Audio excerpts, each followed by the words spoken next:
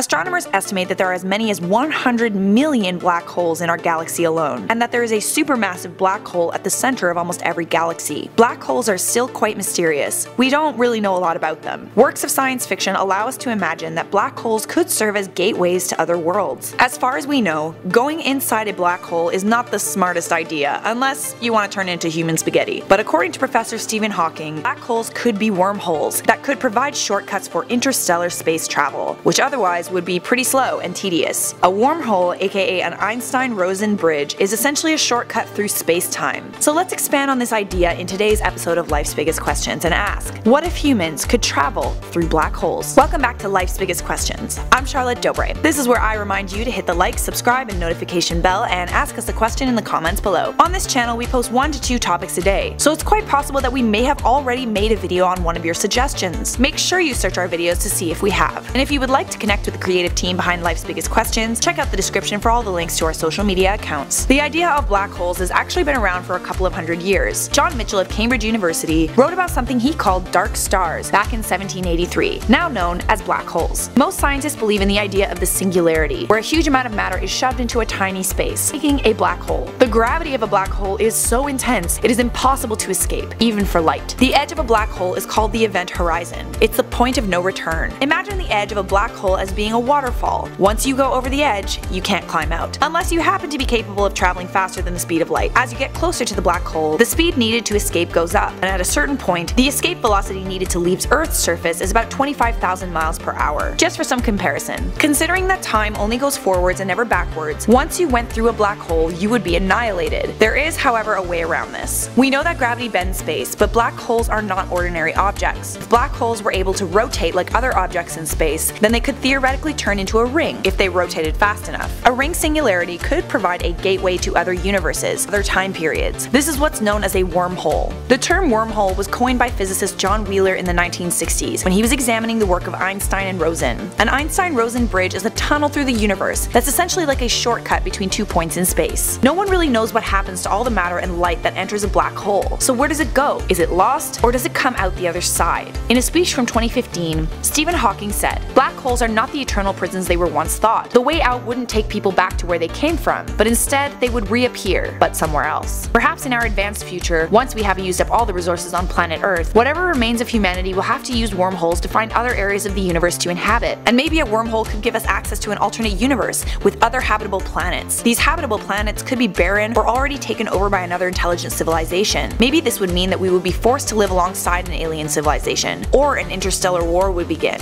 Let's hope this advanced alien civilization is nice and could share their knowledge of the universe with us, and together we could colonize the cosmos. Unlimited destinations for space travel would be at our disposal. Water worlds, fire worlds, rocky worlds, whatever you can imagine. We could also possibly use wormholes as time machines. We could theoretically alter the future by changing the past. Maybe we could go back in time and find out who shot JFK. Maybe we could try and stop Hitler. But changing the past could have dire consequences. One could literally erase our entire existence if they weren't careful. The ripple effect of changing one small thing from the past is incomprehensible to us. That being said, Stephen Hawking said that if we could travel through black holes, we wouldn't be able to come back to our universe. Once you entered a black hole, that's it. You're on the other side. And according to new research by postdoctoral fellow Peter Hintz, whoever traveled through a black hole would leave their past behind, and before them there would be an infinite number of possible futures. Yes, entering a black hole could take you to an alternate universe, but it would also delete your past, skew reality as we know it. Now as we come back to our reality, I will say that no one has really figured out the math of a wormhole to make it so that the gateway remains stable. Furthermore, no one really knows how a wormhole could come into existence. At this time, it's most commonly believed that if you entered a black hole, your mass is simply added to the black hole. You don't go anywhere. You would become stretched out into individual atoms by epically strong tidal forces. As you fall closer to the event horizon, eventually all you will see is blackness before you are dragged at the speed of light and stretched out into strings of atoms. This is what's known as spaghettification. Definitely one of the worst ways to die, and we don't recommend it. That being said,